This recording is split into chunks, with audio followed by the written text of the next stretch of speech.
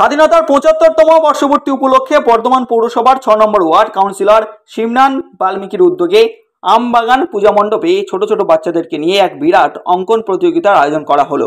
প্রায় সত্তর জন বাচ্চা প্রতিযোগী এই অঙ্কন প্রতিযোগিতায় অংশগ্রহণ করেন এই প্রতিযোগিতায় থিম ছিল মেরা ভারত মহান। Green India, clean India, nation first, mission first প্রতিটি বাচ্চা এই যে কোনো তিনটি থিমের মধ্যে যে কোনো একটি থিম রং তুলির মাধ্যমে তুলে ধরে। এই অনুষ্ঠানে অভিভাবকদের উপস্থিত ছিল চোখে পড়ার মতো। বর্ধমান থেকে শেখ জামিরুল আলমের রিপোর্ট। ইন্ডিপেন্ডেন্স ডে সেলিব্রেশন করছি তার জন্য আমরা ছোটবেলা থেকে এখানে ইন্ডিপেন্ডেন্স ডে সেলিব্রেশনের জন্য এখানে ড্রয়িং কম্পিটিশন তিনটে এজ গ্রুপ আছে clean India green India nation first always first সব বাচ্চারা পার্টিসিপেট করছেন। কি কি আপনার গ্রুপ কি কি আছে?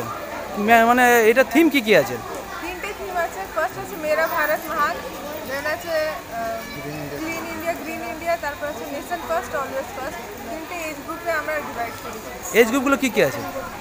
পাঁচ থেকে সাত আছে আবার আট থেকে বারো আছে বারো তেরো থেকে আবার ষোলো আছে।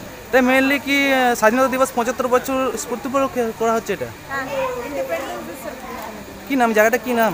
আমবাগান अपना नाम वार्ड काउंसिलर हम लोग छः नंबर वार्ड के अंतर्गत आम बागान पूजा मंडप में एक हमारे काउंसिलर के उद्योग से एक ड्राइंग कंपटीशन का आयोजन किया गया था। इस कंपटीशन का मुख्य उद्देश्य था कि हमारे छः नंबर वार्ड के जितने भी बच्चे हैं जो विभिन्न स्कूल में पढ़ते हैं उनको उनका कला को और आगे बढ़ाना उजागर करना।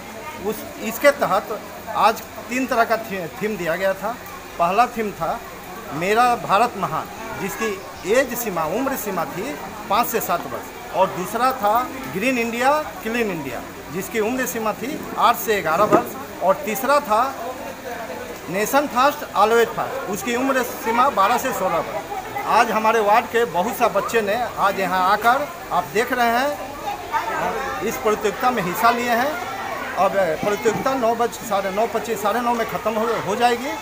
इस उद्योग से हमारे जो वार्ड के गार्जियन जो लेकर अपने बच्चे के आए हैं, काफ़ी उनमें उल्लास देखा गया है और इस तरह का माहौल पहली बार किया गया है।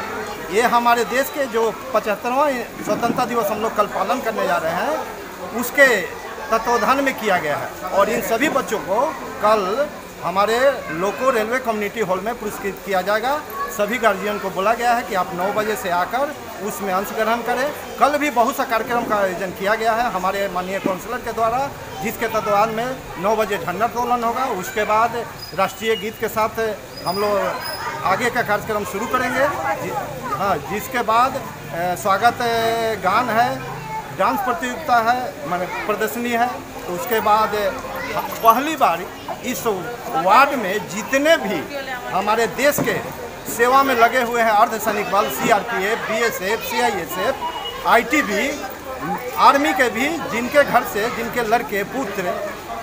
देश पर अपने हम लोगों को रक्षा कर रहे हैं, देश पर सीमा पर अपनी ड्यूटी कर रहे हैं, उनके परिवार को सम्मानित किया जाएगा। ये बहुत ही अच्छा उद्योग है। इसके लिए हम लोग छः नंबर वार्ड के बासिंदा माननीय काउंसिलर को बहुत बहुत धन्यवाद देते हैं। नमस्कार।